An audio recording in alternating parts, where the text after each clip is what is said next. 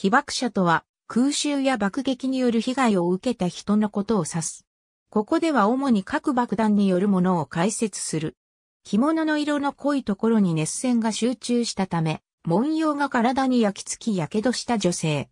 よく似た言葉に被爆があるが、こちらは放射能にさらされた場合を指す。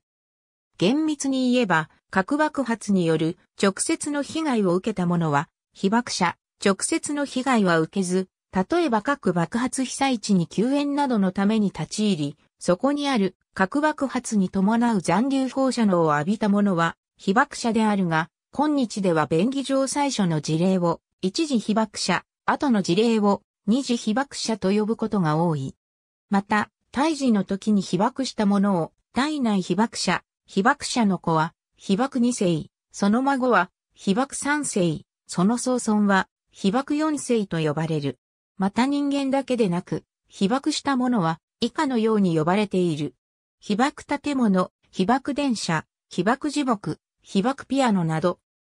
核兵器により人間が被爆した場合、火傷などの直接的な外傷とは別に、頭髪の脱毛、皮下出血、歯茎からの出血、鼻血、下痢や嘔吐などの急性放射線症候群や白血病や癌、骨髄異定性症候群などを発症する可能性が高くなる万発性の放射線障害が発生する。これらの放射線障害は原爆症と総称される。原爆症の認定審査は厚生労働省の原子爆弾被爆者医療分科会が行っている。日本の法律上の被爆者の定義は原子爆弾被爆者に対する援護に関する法律に規定される被爆者健康手帳を交付されたものを言う。体内被爆者については、高放射線量を浴びた16週から25週の胎児については、知的障害児の誕生頻度が上昇する。それ以外の胎児については、優位な変化は見られないとされている。被爆2世については、遺伝的影響はないとの意見が定説となっている。原爆障害調査委員会による被爆2世に対する調査では、新生児の障害、染色体異常、血中タンパク質の異常などの発生率に差はないと結論された。放射線影響研究所は2007年に被爆2世への遺伝的な影響は死産や奇形、染色体異常の頻度、生活習慣病を含め認められないと発表している。厚生労働省健康局総務課はこれらの研究から国会答弁において、被爆2世の健康への影響はないと考えられるとしている。2020年には、広島市と長崎市の放射線影響研究所が、被爆者と被爆2世の約900組を対象に、ゲノム解析を行う準備をしていることを発表した。研究所では、ゲノム解析により深刻な遺伝子変異が見つかる可能性は低いと見ており、差別や偏見に苦しむ被爆者や被爆2世の心的負担を軽減することにもつながる調査であることを示唆している。一方で、被爆2世の健康への影響を疑う一件も存在している。1988年に結成された全国被爆2世団体連絡協議会は2004年に坂口厚生労働大臣に対して被爆2世、3世に健康に関する不安があり、何らかの対応を求める請願書を提出した。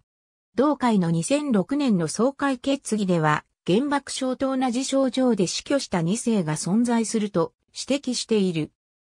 2012年6月3日に、長崎原爆資料館で開催された第53回原子爆弾後障害研究会で発表された、広島大学の鎌田七男名誉教授らによる、広島大学原爆放射線維科学研究所研究グループの長期調査結果報告である。広島原爆被爆者の子供における白血病発生についてにおいては、被爆2世の白血病発症率は特に両親ともに被爆者の場合に高くなる遺伝的影響があるとされた。鎌田はこれでようやく短所についたと語っている。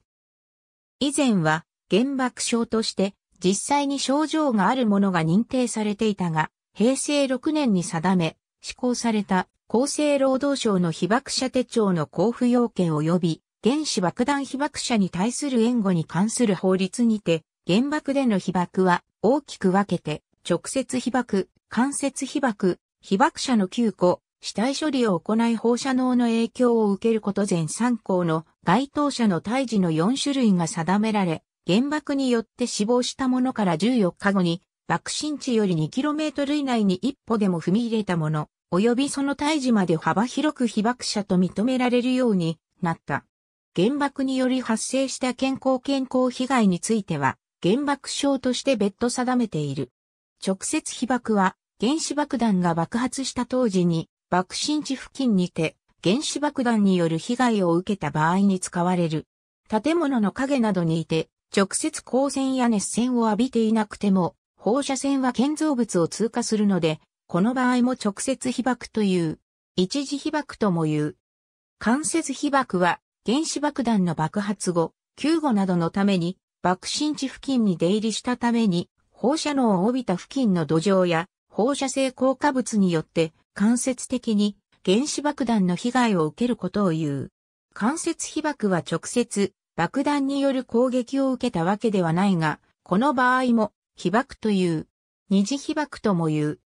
入試被爆は原子爆弾が投下されてから2週間以内に救援活動、医療活動、親族探し等のために広島市内または長崎市内に立ち入ったものに認定される。ありがとうございます。